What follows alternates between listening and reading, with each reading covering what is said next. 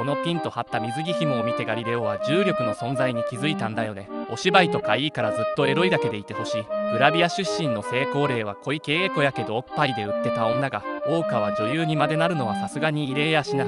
何かしらの肩書きでグラビア成功した人はさっさと次に移らんと腐るだけやろ。こいつに肩書きとかあるの。グラビアクイーン。この体勢でお腹に段ができないのすげえな。精子製造促進画像やめろ。イメビも出さんくせにグラビアアイドル名乗るなよ。アイスキャンディーしゃぶったりバランスボールでバインバインしたりしろよ。Y はあれあんま好きやないわ。意外じゃなくてこいつの良さは SIRI やろ。ドスケベボディなのに清楚感じあるんだよな。むしろ尻が本体まである。菊地姫奈ちゃん。18学校では男子の視線が嫌で嫌で仕方なかった。告られても絶対胸目当てだろ。って思っちゃってこの子のがええでチー牛の考えるすっぴん。そう